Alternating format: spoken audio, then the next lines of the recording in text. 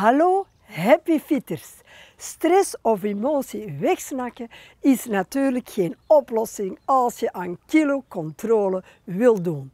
Maar natuurlijk, deze tijden lokken toch wel het extra snoepen uh, uit. En waarschijnlijk ga je dan niet grijpen naar broccoli of witloof, maar ga je op zoek naar zoute snacks of zoete snacks. En die plakken natuurlijk nogal heel rap aan uw billen en uw buik. Dus dat is geen goede strategie. Wat kan je dan wel doen als je die stress of dat onrust voelt in je lijf? Iets heel simpel, ijsberen.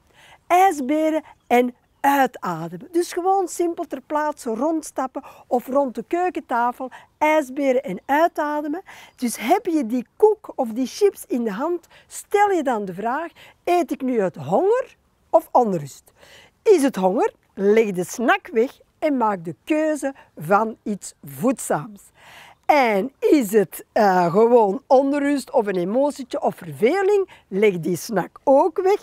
Gaat wat ijsberen rond de keukentafel en adem bewust uit met een energieke gedachte, ik ben fit. We gaan dat eens samen doen. Stel, je hebt zin in een koek, je legt hem weg en